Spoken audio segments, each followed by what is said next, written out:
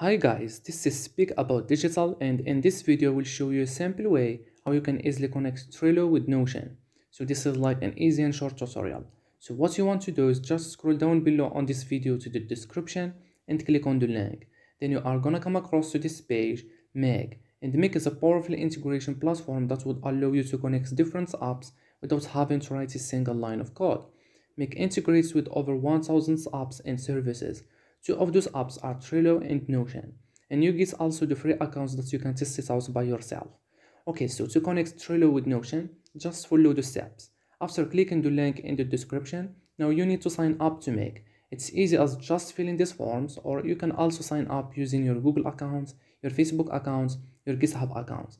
And after that, this is your dashboard. Now you want to click this create new scenario button right here on the top right and here you are click the plus symbol and just search for the apps that you want to connect. Let's say Notion or you want to add Trello first. That's completely up to you. And as you can see, each application usually has different kinds of modules inside of it because you can do different things with those applications. Watch boards, create a board, get a board, so you would choose which one you want. I'm gonna go with watch boards, so that is also specified down here what kind of module is. Then you need to connect it with your account here. After that, click the plus icon here and search for the apps that you, want to connect with Trello. In our case, it's Notion. So let's search for Notion.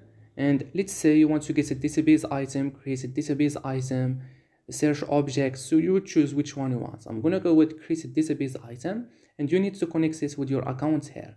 On the bottom left, you can easily run it once and test it out. On the bottom, you can save it.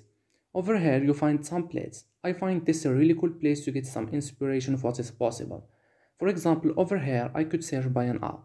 I could say, okay, give me all the templates that contain a Notion module. Down here, you see all kinds of things that are possible. You can use them as they are or customize them to suit your needs. Other than that, you can just click help, contact support, then you can contact the make customer support with technical issue, scenario, and you could paste the URL of your scenario if you need any help from them. You can also watch my mix tutorial on my YouTube channel and that's it. So hopefully this video helped you out. If it did, you can click the like button. That helps a lot. Thank you. So thank you very much guys for watching and bye bye.